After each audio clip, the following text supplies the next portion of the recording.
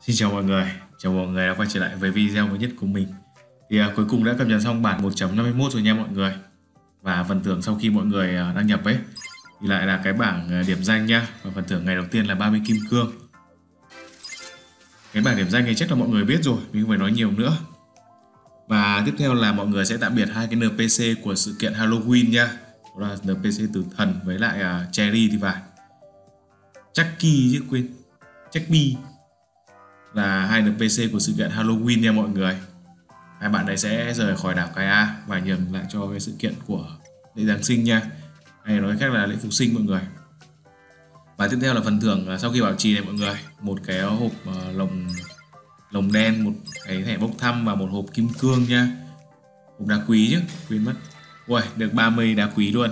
Hên thật sự luôn đấy như vậy là tính ra là mình mở hộp này 30 với lại phần thưởng đăng nhập đầu tiên ấy là được 60 kim cương rồi.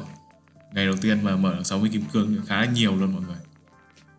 À còn một điều nữa quên mất là sau khi mọi người vào trong game nha thì mọi người phải quay lại chỗ ờ, home ấy quay lại nhà của mình sau đó mọi người trở lại chỗ plaza thì mới nhận uh, nhờ, mới nhận được cái nhiệm vụ của sự kiện uh, lễ phục sinh nha mọi người.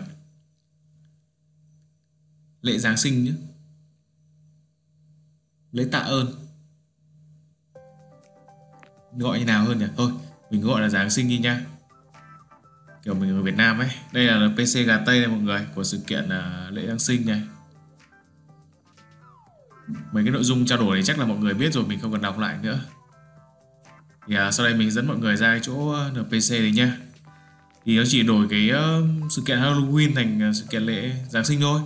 Thì cái chỗ mà ở ngoài này thì vẫn là cái vị trí thường xuyên mà có các NPC thay đổi rồi mọi người.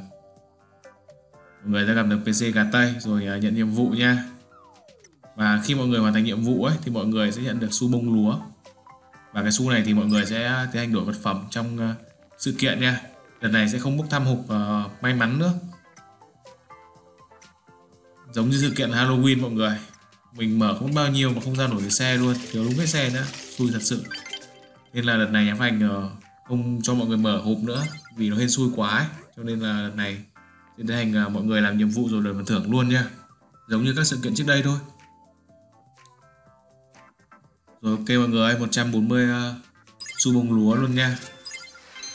Đấy, đồng thời là nó sẽ mở cho mọi người cái bảng uh, để đổi uh, vật phẩm ấy.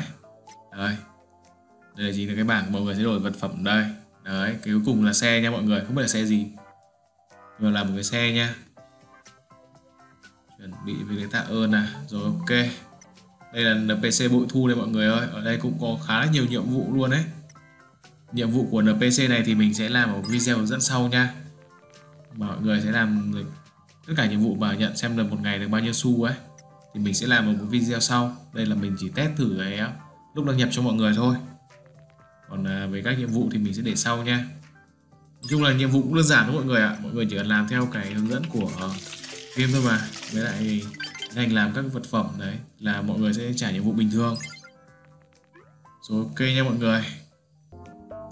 Đây là một nội dung tiếp theo này mọi người ơi. Đó là gói V VIP mới của ngày hôm nay. Khi mà gói V VIP làng nấm mềm mại nha. Đấy mọi người, comment đây là một cái phương tiện này mọi người ạ.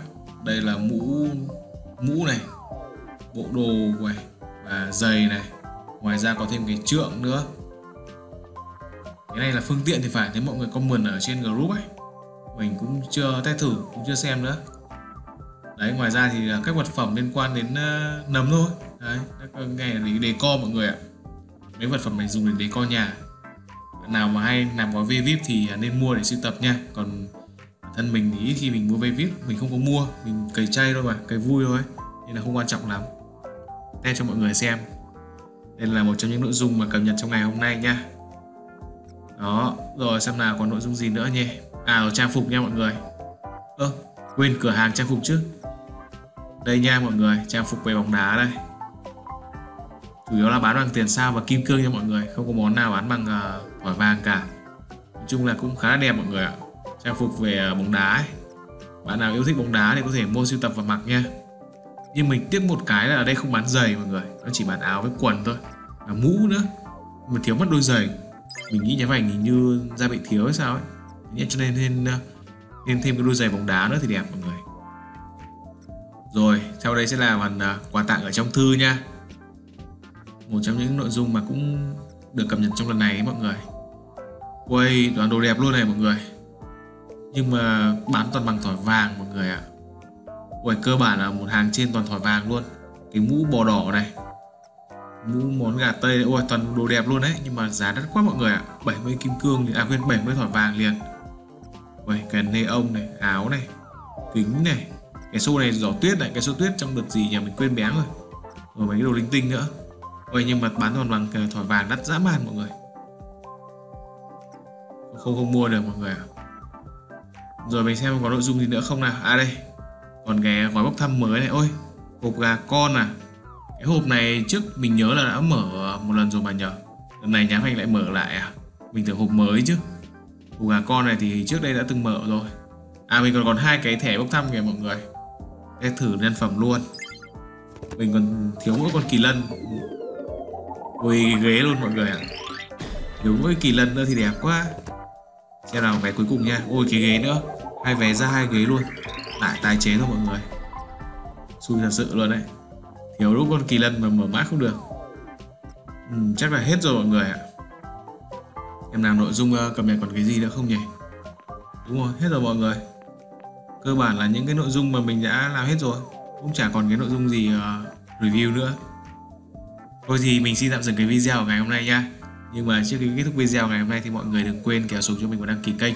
Một là like video giúp mình nhé để ở ờ, mình lấy động lực tiếp tục làm các clip gửi mọi người. Và hẹn mọi người trong các video tiếp theo nha. Bye bye, chào mọi người.